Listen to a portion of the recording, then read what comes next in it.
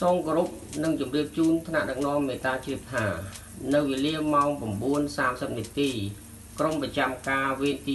1បានថតកម្ដៅតាមទ្វារចរន្ត22គីឡូវ៉ុល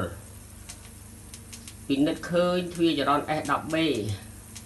លន់សំឡេងប្រាប់ប្រាប់មិនដឹងមូលហេតុប៉ុន្តែកម្ដៅតាម connection មិនឡើងកម្ដៅទេ